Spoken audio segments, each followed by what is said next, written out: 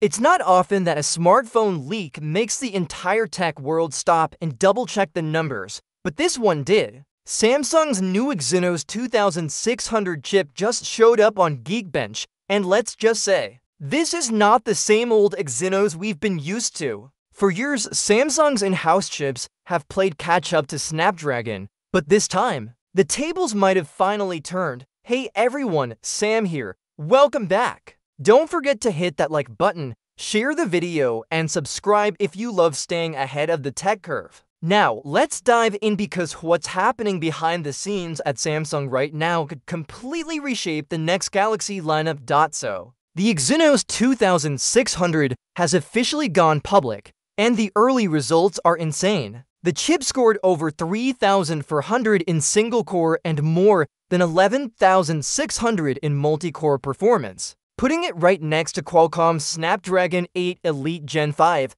that's a first for Samsung. And when even Ice Universe, who's usually impossible to impress, simply says good, you know something huge just happened. This new Exynos isn't just about raw power, it's about smart design. Samsung has finally nailed the balance between performance and efficiency with a unique core setup, one prime core running at 3.8 GHz, a 6-core cluster at 2.76 GHz, and three more optimized for 3.6 GHz. Translation? More speed where it matters, less heat when it doesn't. It's like Samsung finally found the sweet spot it's been chasing for years. Now, here's where it gets interesting. This chip could power around 30% of all Galaxy S26 models. But not everyone's getting it. Reports say Samsung plans to keep the Exynos 2600 mostly exclusive to South Korea, while markets like the US,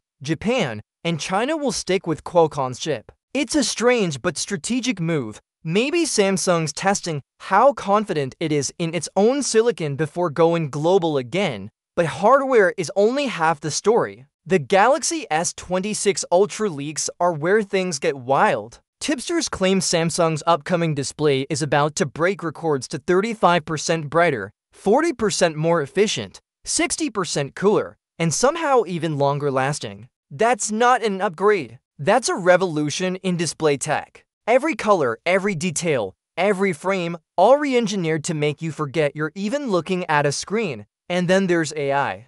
Samsung's doubling down on Galaxy AI in ways that sound straight out of sci-fi. We're talking about a real-time translation assistant that lets you chat across languages like you're both speaking the same one. A smart clipboard that understands what you copy and helps you summarize or search instantly. A social composer that can turn a single image into a polished post, caption, and hashtags. And the most underrated one a touch assistant that reads and organizes text right from your screen. It's not just smart, it's thoughtful, but while the Ultra sounds like Samsung's golden child, the rest of the lineup tells a more complicated story. The Galaxy S26 Plus seems caught in the middle again, not as feature-packed as the Ultra, but too expensive to feel like good value. Samsung reportedly debated bringing back the Edge model to spice things up, but backed out at the last minute. Imagine how perfect that would have been, a curved edge version for design lovers,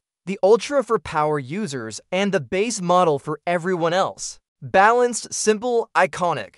Instead, the Plus risks becoming the forgotten middle child of the family. And speaking of the base Galaxy S26, that's where practicality meets performance. It won't have the flashy extras, but it's shaping up to be the most balanced phone for the price, around $800, with a cleaner design, strong cameras, and the same powerful chip architecture. It's the one most people will probably buy, even if the spotlight never quite lands on it. The real question, though, is whether Samsung is playing it to safe. The Galaxy S26 series feels like a moment of transition, full of incredible tech, but still unsure of its identity. The Ultra will likely dominate headlines, but the Plus and base models need something extra to spark excitement again. Samsung has the power, the innovation, and now even the silicon advantage. But can it turn that into emotion? That's what'll decide if 2026 is a comeback year or just another safe chapter,